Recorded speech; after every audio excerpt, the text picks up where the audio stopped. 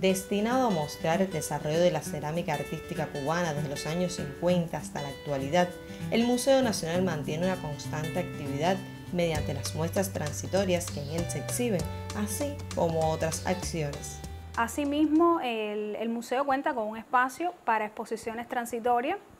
que está ubicado en, la planta baja y tenemos el espacio de bazar o tienda.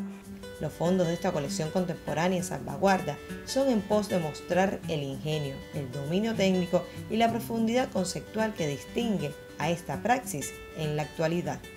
El museo habitualmente se suma a, los propósitos o a las experiencias de la propia oficina del historiador de la unidad presupuestada de patrimonio cultural en tanto, la oficina del historiador tiene una amplia vocación eh, sociocultural eh, en la cual pues, la comunidad eh, de la zona y también otras comunidades pues, se suman a las experiencias de, de, la oficina. Recientemente en Rutas y Andares, en el mes de agosto, estuvimos realizando un taller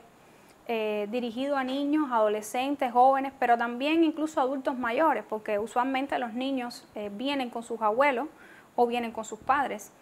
y eh, se convierte siempre en una experiencia intergeneracional porque los niños empiezan a trabajar y empiezan a vincular a la familia dentro de su trabajo. Eh, este taller, a estos talleres usualmente invitamos artistas que forman parte de la colección del museo, artistas que le comentan a los niños sus experiencias desde la práctica que realizan como creadores y que les permiten entonces a los niños tener otros referentes para trabajar.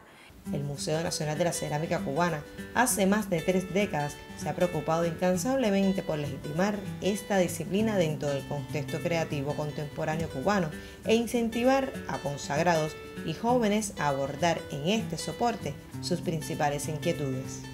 Museo Nacional de la Cerámica Contemporánea Cubana, justo en la calle Mercaderes y esquina Amargura del municipio capitalino de La Habana Vieja. Ha sido Aline Galindo.